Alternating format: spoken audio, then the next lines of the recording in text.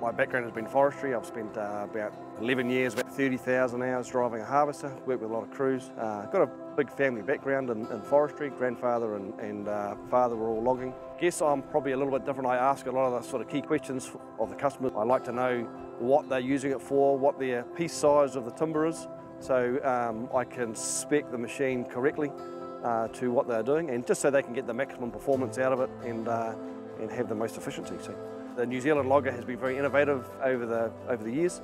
Had Volvo engineers come to New Zealand. We visited sites around New Zealand uh, looking at operations and how we use equipment in New Zealand and how we can improve on that product.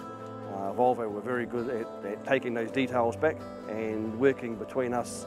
Uh, we came up with a great solution that uh, has worked and proven itself in the forest today.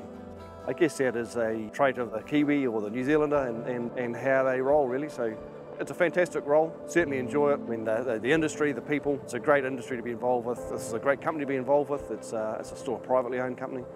Volvo's great to work with. The whole package is, is working well.